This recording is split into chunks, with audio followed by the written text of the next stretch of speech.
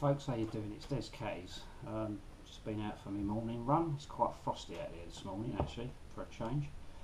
Um, this little video, um, I want to talk about um, a survival kit container that I remember sort of using when I was uh, when I was a really little lad, when I was an army cadet back in the day, and um, like most people I know, and like most people that probably watch my channel, yeah, we've all cut our teeth on Lofty Wiseman books and you know fucking Mors Kochanski and uh, you know and the likes of Ray Mears and that came later. But um, at the time, I don't really, apart from sort of like the uh, the Lofty Wiseman book, I don't really remember sort of reading any other survival books. Not that my memory remembers that sort of thing. Um, so a lot of the time when we was, um, you know, we never had the internet either. Um, so it was a matter of, you know, we'd, we'd sort of just sort of gather as much information as we could from whatever.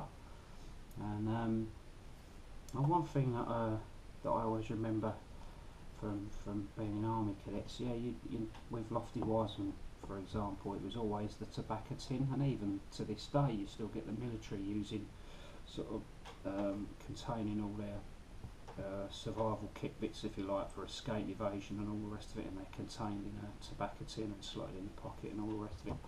But one bit of kit that um, survival kit that we used to use um, that was introduced to me by an instructor that um, that passed away at a young age, and for people that some people out there that might know him, and he was Steve Ryder, and he was a fucking blinding instructor at the time. Anyway, and he sort of come up, I don't know where he got the idea of using um, baked bean tins, if you like, and then um, the, I'm not going to talk about what to put in a tin. You fucking hell, you can go and look on in, on YouTube and find out for yourself. I don't give a shit. I'm basically just going to talk about the container itself, and um, basically what we used to use was um, used to have a larger, uh, larger sort of uh, what's that sort of four 400 gram sort of baked bean tin, if you like, and it had one of those kind of plastic lids that you would put on your uh, pet food if you're only giving them half a tin of food, like your cat food and all that sort of stuff.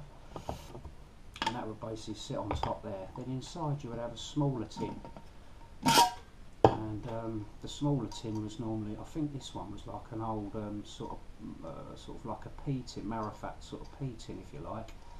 And uh, what I'd done there was um, I actually drilled a couple of holes in it um, and attached a bit of wire to it to use it as a as a cooking pot as it were if you like or to boil water in. Um, and also what I've got sort of wrapped around it. The only thing you're going to see that I've got on here is a bit of some cordage, some really sort of thin string cordage if you like, not paracord or anything like that. Something really simple. And, um, and basically you add on, if you look at the state of that tin, it's absolutely heaving with rust and stuff. But yeah, that was um, that was our uh, that was our means of survival container. What you put in it was down to you. It was normally, you know, like a little knife, button compass, cotton wool, um, you know, condom to carry water in and maybe a bit more string, shitloads of matches, cotton wool and all the rest of it. And um, yeah this was uh, this was the kind of uh, receptacle that, that was quite popular. It's a little bit bulky I suppose to stick in a breast pocket or whatever but um, when you were sort of like normally as an army cadet you was never really out your webbing. You kind of in a way you kind of sadistically like wearing your webbing I think. So you'd normally have that stuck in a pouch and then obviously when you needed to bug out you're on escape evasion or whatever you'd have your survival kit and your means of you know your water and all that kind of stuff on you already. But plus you know having a little survival kit in a tin such as this oh, I found it a little bit more practical and a bit more useful than having a than having a, a tobacco tin. But you know I'm not going to get into a debate about it. It really is just basically something a bit of nostalgic uh, nostalgia, nostalgia really, if you like, and that was the kind of uh, you know survival tin that was used. I mean, now we've got possible pouches and and all that kind of stuff, but um, I think sometimes people forget the likes of stuff like this. You know, everyone wants to be quite authentic and use leather and and canvas and, and be like the Voyagers and all those kind of people, but something quite as simple as this you know it's, it's pretty much free really and it you know apart from buying the, you know it's recycling at its best as it were. As I say, you've got the lid on top there, which keeps everything nicely waterproof and contained away. It doesn't really rattle too much, and it's uh, quite a handy little bit of kit, really. So uh, yeah, that's it really. I just wanted to sort of show you this survival kit, or uh, not the not the contents. Not interested in the contents because you can put in there what you like, but basically just about the container itself.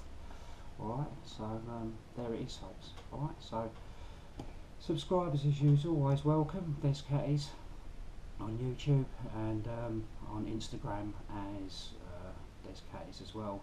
Uh, VidMe, Bushcraft by Des Cattys. Alright, so uh, yeah, up the woods tomorrow. So I'll probably be knocking out some more videos, bits and pieces. Alright, so a cracking weekend. Take care and be safe. Alright.